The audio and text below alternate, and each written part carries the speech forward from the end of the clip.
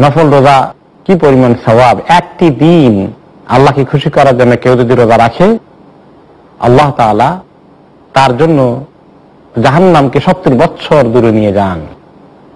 সত্তর বৎসর দূরে চলে যায়, জাহান্নাম যে ব্যক্তি একটি দিন আল্লাহ রাস্তায় রোজা রাখে। এবং রোজা এমন এক আমল, আল্লাহ তারা নিজের হাতে পুরস্কার দেবেন। আসাউমুলি ওয়ানা আজিবিহি রোজাদারকে ডাকা হবে রাইহান নামক গেট দিয়ে। রোজাদার কি আসো এই গেট দিয়ে চলে আসো? সেই রোজার আমল এত ফজিলতের।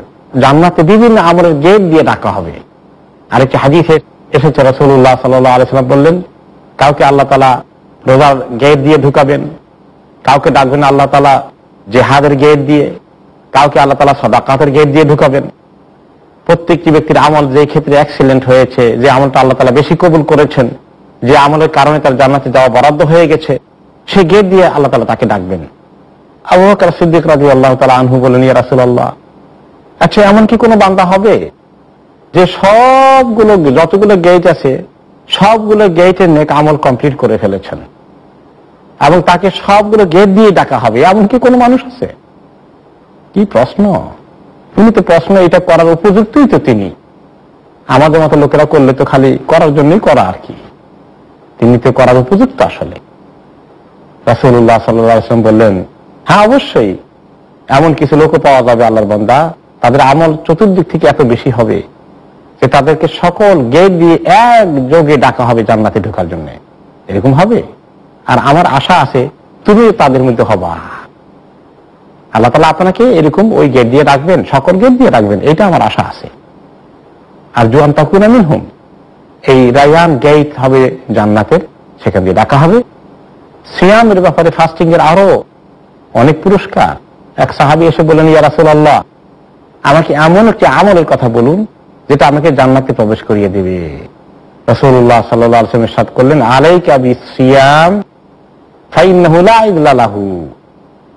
তাহলে তোমাকে রোজা রাখা কন্টিনিউ করতে হবে, রোজার আমল বেশি করে করতে হবে না ফল রোজার আমল। মনে রেখো, পুরস্কারের দিক থেকে এত বেশি পুরস্কার আছে, তার সমকক্ষ কোনো আমল হতে পারে না। এই নফল রোজা সারা বছরই অ্যালাউড আছে, বছরে মাত্র পাঁচ দিন হারাম রোজা রাখা। চার দিন কোরবানির ঈদে আর রোজার ঈদে একদিন, পাঁচ দিন। আর সারা বছর নফল রোজা রাখা যায়। তবে নফল রোজার কিছু খাস টাইম আছে যেগুলো সুন্নত, যেগুলো হাদিসে উৎসাহিত করা হয়েছে। রমাদানের পরে ছয়টি রোজা সওয়াল মাসের। আশুরার রোজা, আরাফাতের দিনের রোজা, প্রতি সম এবং বৃহস্পতিবার রোজা। মাসের মাঝখানে তেরো, চোদ্দ, পনেরো তারিখের রোজা চাঁদের মাসের এগুলো এক্সট্রা এডিশনাল ফজিলত নফল রোজার মধ্যে। অনেক নেকির কথা এসেছে। যারা নিকার বান্দা, জান্নাতে যাওয়ার জন্য আমল তৈরি করতে ব্যস্ত, বিশেষ করে এমফাসাইজড করা হাজিরগুলো যেখানে আছে, ফজিলত সম্পর্কে স্পেশাল খাস দিনগুলো যেগুলো আছে নফল রোজার জন্য, সেগুলোকে তারা কমপক্ষে